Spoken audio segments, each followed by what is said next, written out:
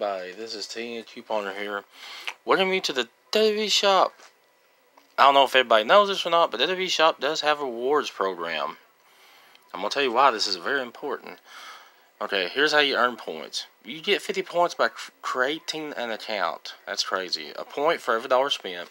Look at all this, though. You get 10 points by following WWE on Facebook, Twitter, and Instagram. Then when you... Uh, get the product about a week or two later, they will email you and you can actually write a review on each item you bought. Each item you bought, if you write the review, it's 25 points per review. So when you see those good clearance items, make sure you buy them. This is important because every 100 points, you get $5 off your order.